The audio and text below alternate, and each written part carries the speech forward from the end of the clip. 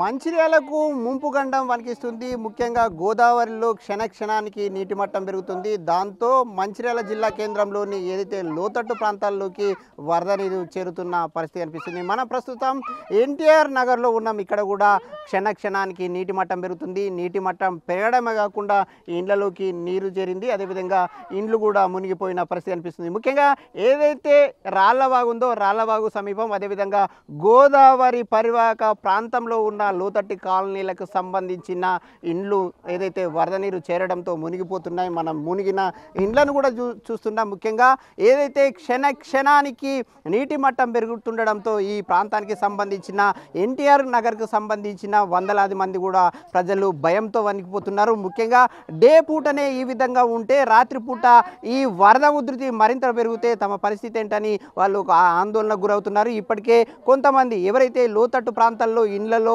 నీళ్ళు చేరడంతో నిత్యావసర వస్తువులు అదేవిధంగా గుడ్డలు అన్ని కూడా తడిసిపోవడం జరిగింది. కనీసం కట్టుబట్టలతో మిగిలామని వీళ్ళంతా ఒక ఆవేదన ఆందోళన వ్యక్తం చేస్తున్నారు. ముఖ్యంగా గత ఏడాది కూడా ఈ విధంగానే నీళ్ళలో ఇండ్లు మునిగిపోవడంతో తీవ్రమైన ఇబ్బందులు పడ్డం మళ్ళీ ఇప్పుడు కూడా నీళ్ళు మునుగు నీళ్ళు రావడంతో మునుగుతామని ఒక భయం మాత్రం వాళ్ళను వణికిస్తుంది. ముఖ్యంగా ఎల్లంపల్లి ప్రాజెక్టు శ్రీపాద ఎల్లంపల్లి ప్రాజెక్టులోకి భారీగా వరద నీరు చేరుతుంది. లక్షల క్యూసెక్ల వరద నీటిని దిగువకు వదులు వదులుతున్నారు. అదేవిధంగా ఎస్ఆర్ఎస్పి శ్రీరామ్ సాగర్ ప్రాజెక్టు నుంచి వరద నీరు ఏదైతే గోదావరిలోకి వస్తుంది గోదావరి నుంచి ఎల్లంపల్లి ప్రాజెక్టు వస్తుంది. అదేవిధంగా శ్రీ ఎస్ఆర్ఎస్పితో పాటు కడెం ప్రాజెక్టులో నుండి కూడా వరద నీరు ఎల్లంపల్లి ప్రాజెక్టులోకి చేరుతుంది. అదేవిధంగా రాళ్ళ వాగుకు సంబంధించిన వాగునీరు కూడా ఈ ప్రాంతంలోని వరద నీరు కిందికి దిగువకు వస్తుండడంతో ఈ ప్రాంతానికి సంబంధించిన ప్రజలందరూ కూడా భయంతో వణికిపోతున్నారు. ఇండ్లలోకి వరద నీరు చేరుతుంది. ఇప్పటికే సామాగ్రిని ఇండ్ల నుంచి తరలించడానికి ఆటోలు అదేవిధంగా వాహనాలు సిద్ధం చేసుకొని కొంతమంది వెళ్ళిపోతున్నారు. ఇప్పటికే కొంతమంది ఫంక్షన్ హాల్లోకి వెళ్ళిన పరిస్థితి మరికొంతమంది కూడా వెళ్ళడానికి సిద్ధంగా ఉన్నారు. వీళ్ళ పరిస్థితి ఎట్లా ఉంది అనే అంశాన్ని వారినట్టు తెలుసుకుందాం. అమ్మ వరద ఉధృతి ఎట్లా ఉంది? ఎలాంటి భయం ఉంది? మాకు ప్రతిసారి వాగు వస్తూనే ఉంది మాకు. వాగు మా సామాన్ కానీ మాకు నష్టపరిహారం చాలానే జరిగింది. గత ఇరవై సంవత్సరాల నుండి జరుగుతూనే ఉన్నది. ఇప్పుడు కూడా అదే జరుగుతున్నది. మాకు మాకు ఉండడానికి కూడా స్థలం లేకుండా అయిపోయింది. మేము సామాన్లు పోయినాయి తినడానికి తిండి లేకుండా అయిపోయినాం. కట్టుబట్టల మీద బయటికి వెళ్ళినాము. మా పరిస్థితి ఘోరంగా ఉన్నది. మా పిల్లలు కూడా చాలా వేదన పడుతున్నారు. మాకు ఇక్కడ నిలవడానికి చోటు కూడా లేదు. మరి రేవంత్ రెడ్డి సార్ కానీ మన ప్రేమ్ సార్ సార్ కానీ వాళ్ళు ఏమైనా మాకు సహకారం ఇచ్చి మాకు ఎక్కడైనా స్థలాలు కానీ ఇల్లు కానీ ఇప్పిస్తే వాళ్ళకు చాలా ఇప్పుడు వరద నీరు చేరడం వల్ల ఇండ్లలోకి వచ్చిందా? వస్తే నీరు నీటితోని ఏదైతే నిత్యావసర వస్తువులు గుడ్డలు తడిచిపోయా? తడిచిపోయినాయి సార్. ఖరీదైన వస్తువులే అన్నీ పోయినాయి. అట్లా మేమేం తీయలేకపోయినాం. మాకేం తీయడానికి కూడా అవకాశం లేదు. వరద నీటి నీరు నీరు గుడిసెలకు మునిగే వరకే మేము ఏది ఇవ్వాలన్నా అవకాశం లేదు. అన్నీ కొట్టుకుపోయినాయి. ఖాళీ మనసులో మాత్రం బయటకు వచ్చినాం. మాకు ఒంటి మీద బట్టలు తప్ప మాకు ఇంట్లో నుంచి ఏది తీసుకురాలేదు. అన్నీ కొట్టుకుపోయినాయి. ఏది మాత్రం ఇంతవరకు తీసుకొచ్చుకోలేదు. మాకు ఎక్కడున్నా ఎక్కడైనా మమ్మల్ని ఇప్పటివరకు అయితే ఉంచాలి.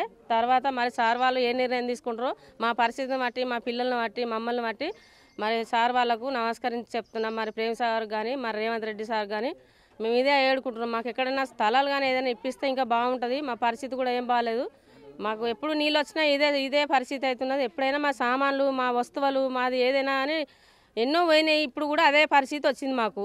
ఇది ఈ మహిళ ఆవేదన గత కొన్నేళ్ళుగా ఈ విధంగా వరద రావడం అదేవిధంగా నిత్యావసర వస్తువులు తడిచిపోవడం అదేవిధంగా ఇండ్లలోకి నీరు చేరడంతో విలువైన వస్తువులన్నింటినీ కోల్పోతున్నామని ప్రతి సంవత్సరం ఈ విధంగానే ఏదైతే పరిస్థితి వస్తుందని వాళ్ళు ఆవేదన వ్యక్తం చేస్తున్నారు. మీరు చెప్పండమ్మా ప్రధానంగా ఈ వరద నీరు ఏదైతే క్షణ క్షణానికి పెరుగుతుంది పెరగడం వల్ల మీరు ఎట్లాంటి ఇబ్బందులు పడుతున్నారు ఏ విధమైన అవస్థలు పడుతున్నారు? ముఖ్యంగా గత ఏడాది కూడా ఈ విధంగానే ఇబ్బందులు పడ్డారు. ఇప్పుడు కూడా క్షణక్షణానికి క్షణ క్షణానికి నీటి మట్టం పెరుగుతుంది. ఈ వరద పెరగడం వల్ల మీరు ఎట్లాంటి అవస్థ అవస్థలు పడుతున్నారు? వర్షం పెరుగుతుంటే ఎప్పటికీ చదువుకొని పెట్టుకునే ఉంటుంది. వానలు వచ్చినా కొద్ది. ఉన్న సామాన్లు ఖరాబ్ అవుతున్నాయి పాతిన పసాలు అమ్ముకున్నాడు ఇది మా పని. మాకు ఏదైనా సాయం చేస్తే అటు పోయి ఉంటాం.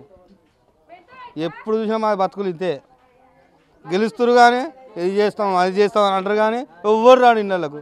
నీళ్ళు వచ్చినప్పుడు వస్తారు చూసిపోతారు అంతే వాళ్ళ పనికి అంతే. ఇక్కడికి వచ్చి పని చేసి చేసేటోళ్ళే లేరు.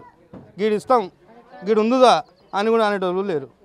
ఇప్పటికే ఆరు లక్షల యాభై వేల క్యూసెక్ల నీటిని దిగువకు వదిలాడు వదిలారు. ఎల్లంపల్లి నుంచి ఇంకా పెరిగే అవకాశం ఉంది. ఇప్పటికే కొన్ని ఇండ్లు మునిగిపోయాయి. మిగతా వాళ్ళ పరిస్థితి ఎట్లా ఉంది? భయంకరంగా భయంతో వణికిపోతున్నారా? ఇప్పుడు ఈ నీళ్ళు చూసుకుంటూనే కూసురు వాళ్ళు. కొద్దిగా ఈ రోడ్డు ఇది ఎక్కితే కథం. బండ్లు పట్టుకుని వెళ్ళిపోవడే వాళ్ళ పని. ఏడుగు పోదామన్నా ఇప్పుడు ఎవరు రానిచ్చేటట్లేరు ఎక్కడ జాగ లేవు ఉండడానికి. అటు పోతే వాళ్ళు బేరిస్తారు ఇటు పోతే వాళ్ళు బేరిస్తారు ఒకళ్ళు ఇద్దరు అంటే అది వేరు చదువుకుంటారు వందల మంది ఉన్నారు. అందరు ఎటు పోవాలి?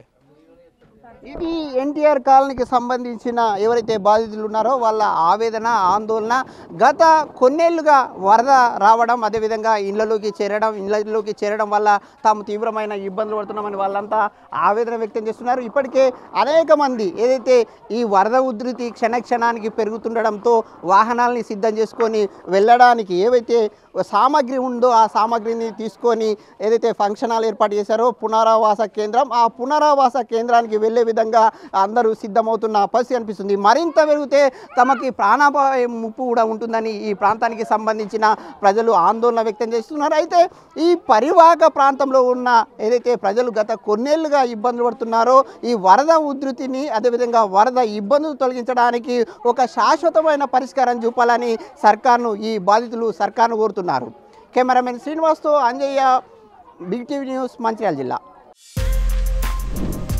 For more videos like this, subscribe Big TV channel